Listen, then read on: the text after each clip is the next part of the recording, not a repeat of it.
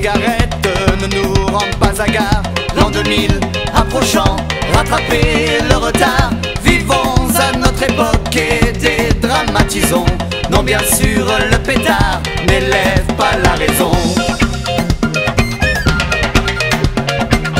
Je le conseille tout de même avec modération, comme cet alcool qu'on prend jusqu'à la déraison.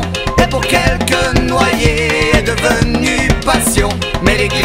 ne dit rien, la cirrhose a raison.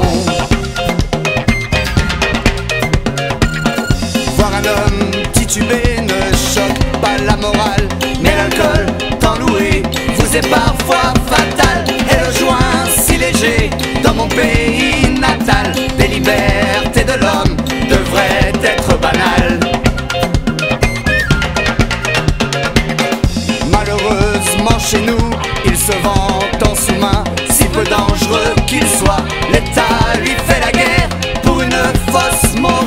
parce qu'il n'en touche rien. Voilà la vérité dans cette triste affaire.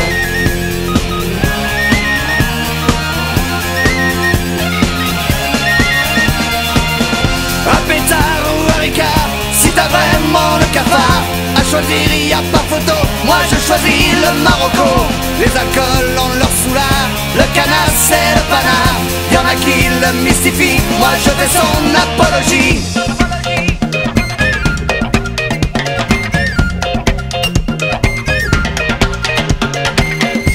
serait pourtant si simple de le légaliser.